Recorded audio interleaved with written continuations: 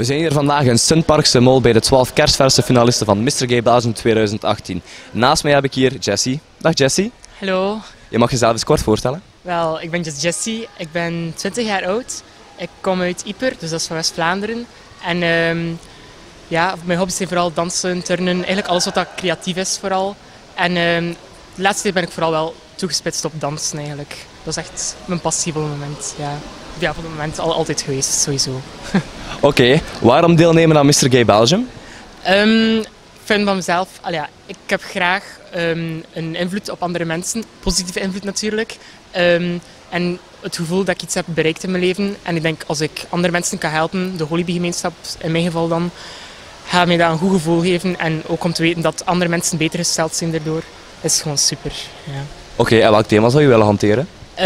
Ik wil graag de, de taboesfeer doorbreken op de scholen. Iets meer de Holibi-gemeenschap integreren in, de, in het leerplan, zodat uiteindelijk de kinderen wat meer, allee ja, wat meer op hun gemak zijn bij andere mensen die homo zijn. En dat er daardoor ook het eigenlijk vermindert uiteindelijk.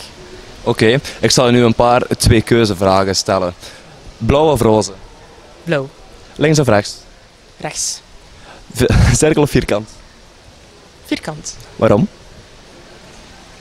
Hmm. Ja, ik weet niet. Misschien omdat ik alles graag ordelijk heb. Alles mooi in de... Heel structuur en punctueel. Ja, voilà. voilà. Alles goed in de puntjes.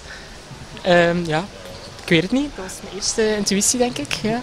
Oké, dan nog een laatste vraag. Stel je voor je bent voor één dag onsterfelijk. Wat zou je allemaal doen? Ehm, goh.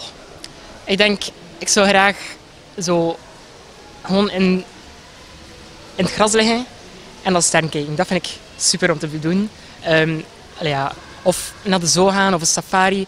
Iets dat, met, iets dat wauw is. Niet gewoon zo feesten. Ik bedoel, dat kan ik elke dag doen.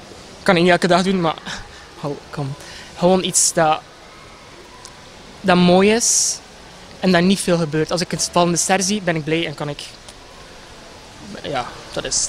Oké, dankjewel Jessie.